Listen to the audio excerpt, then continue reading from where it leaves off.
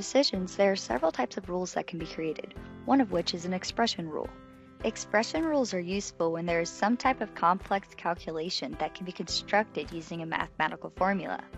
And those that are familiar with Excel style formulas find expression rules pretty similar, since mathematical symbols and functions are often used in both.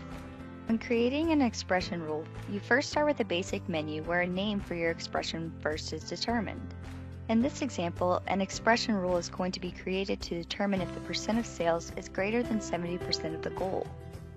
Before writing the expression, let's focus on this list at the bottom of the menu. This can be referenced for basic mathematical abbreviations and can be used in the expression if necessary. So now the expression can be written using a combination of parentheses, braces, variables, numbers, and mathematical symbols.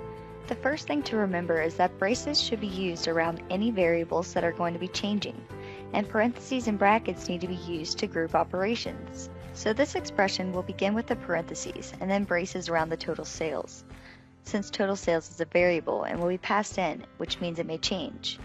We will then subtract the cost from the total sales, which is also a variable and needs braces around it. That profit is then divided by the total sales and that total will then be multiplied by 100 to make it a percentage. That percent is the percent of sales, but this expression rule wanted to determine if it is greater than 70% of the goal. So the expression isn't quite done. A greater than or equal to sign can be added, and 70% of the sales goal can be added by writing it as decimal of 0.70 and then multiplying by the sales goal. So we now have our expression written out and a step category must be classified so that we know where to find this expression rule. In this case, percent of sales will do. You may have also noticed an Anchor Maps 2 drop-down list has appeared, which refers to what the anchor data should be. The item on the left-hand side is our anchor data, so in this case, I will select total sales. Once an expression is created, all of these fields can be edited at any time with a click of a button.